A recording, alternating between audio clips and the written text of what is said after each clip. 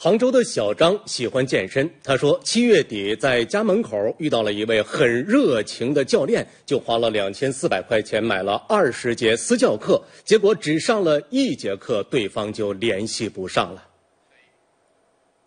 小张在家旁边的一家杰士健身办了会员卡，他说七月底自己锻炼完，走到家门口的时候，一名男子叫住了他，他跟我搭讪说：“我是不是在杰士健身房锻炼？”我说：“是的。”他说：“那你有没有兴趣了解一下我们这种私人教练？我这边价格很实惠啊，把名片给我。但是我不是很感兴趣啊，我就敷衍的拿下了嘛。然后他就说加个微信聊一聊啊，什么价格非常便宜。这个教练是哪里的教练？他跟我说的是他有在杰士健身房带别人练，他也有自己开工作室。加了微信后，这名教练自我介绍说姓于。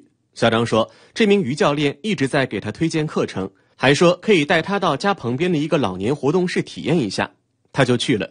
可刚练了十分钟，这名于教练就说要收费。他说我这样子这么近，肯定会给我最便宜的一百二一节课，因为外面都要两三百，我就向他买了二十节课，给他转了账。转账以后嘛，就嗯第二次带我练，大概已经一个星期了吧。我问他什么时候可以上课嘛，能不能来杰士健身房上课？他说：“你第一次上也不是很懂，我们就还是在那个免费的健身房上。”小张说：“这名于教练教了平板支撑，还有拉伸，都是比较基础的。之后他再跟于教练约时间，对方说腿伤了。然后后来我又过了一个星期，又问他：李教练你腿好了吗？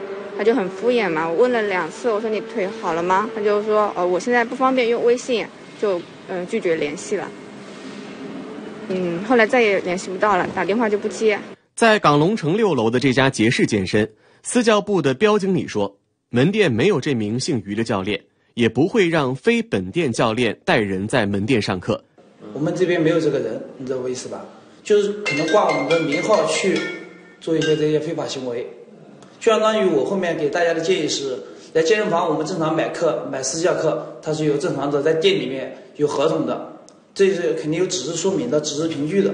这样的才是有个凭据，后面的时候这些利益原因可以就追究的，这是给大家一个建议。记者拨打了这名于教练的电话，一直无人接听。小张给这名于教练打了语音电话，提示微信已经被拉黑。小张说自己在网上搜过于教练的手机号，发现他还在发帖子。我就想通过这个平台曝光一下这些黑私教，我都不知道他腿到底有没有伤。